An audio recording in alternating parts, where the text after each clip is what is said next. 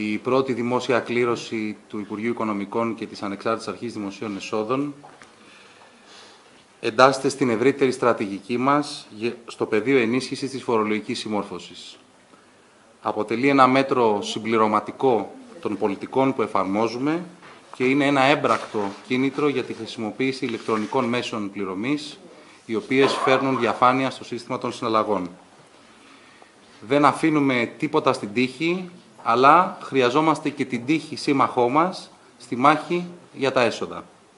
Θέλω να συγχαρώ ιδιαίτερα όλους όσοι εργάστηκαν για να έχουμε το σημερινό αποτέλεσμα και ιδιαίτερο στην Διεύθυνση Ηλεκτρονικής Διακυβέρνησης της Ανεξάρτητης Αρχής Δημοσίων Εσόδων, η οποία υπερέβαλε αυτόν προκειμένου να το φέρει σε πέρας εγκαίρος. Σήμερα πραγματοποιούμε την πρώτη από το πρόγραμμα δημοσίων κληρώσεων τη γνωστή σε όλους μας λοταρία.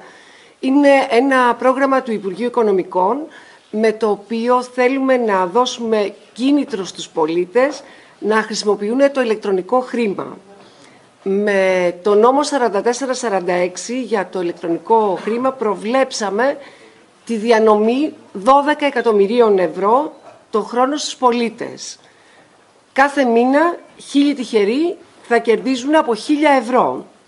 Στη σημερινή πρώτη κλήρωση ε, που έχει γίνει για τις ε, συναλλαγές του Οκτωβρίου έχουμε τους πρώτους χίλιους τυχερούς και όπως επίσης και τους χίλιους αναπληρωματικούς. Μου λένε ότι υπάρχει μεγάλος φόρτος και είναι περίπου 15.000 ταυτόχρονα μέσα και προσπαθούν να δουν τα αποτελέσματα. Τα αποτελέσματα βγήκαν πριν ε, περίπου καμιά ώρα, αλλά έχουμε διαδικασίες ελέγχου πριν την ανάρτηση. Η κλήρωση έγινε μέσω πιστοποιημένου ανεξάρτητου φορέα, ο οποίος στην ουσία μας έδωσε εμάς 2.000 νούμερα και βέβαια με μία άλλη πάλι λογική και ένα βήμα που βάλαμε εμείς το οποίο διασφαλίζει την, το αδιάβλητο ε, της διαδικασίας. Έχουμε παράξει αυτή τη στιγμή 2.000 λαχνούς. Είναι χίλιοι τυχεροί λαχνοί και χίλιοι αναπληρωματικοί. Να πούμε μερικά πράγματα για όλη τη διαδικασία.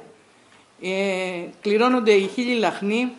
Ε, αν, σε κάποιον, αν κάποιος, μάλλον, ε, βέβαια είναι πολύ μεγάλο το νούμερο έτσι ώστε να πετύχουμε να πάρει κάποιος δύο λαχνούς, θα είναι πολύ τυχερός, πηγαίνουμε στον επόμενο αναπληρωματικό.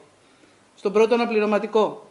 Επίσης, ανεβάσαμε σήμερα στο TaxisNet μία εφαρμογή όπου σύμφωνα με την απόφαση της δημόσιας κλήρωσης θα πρέπει να δηλωθεί για όσους έχουν κερδίσει, θα πρέπει να δηλώσουν τον ε, αριθμό τραπεζικού τους λογαριασμού ε, έτσι ώστε να γίνει η κατάθεση των ε, χρημάτων.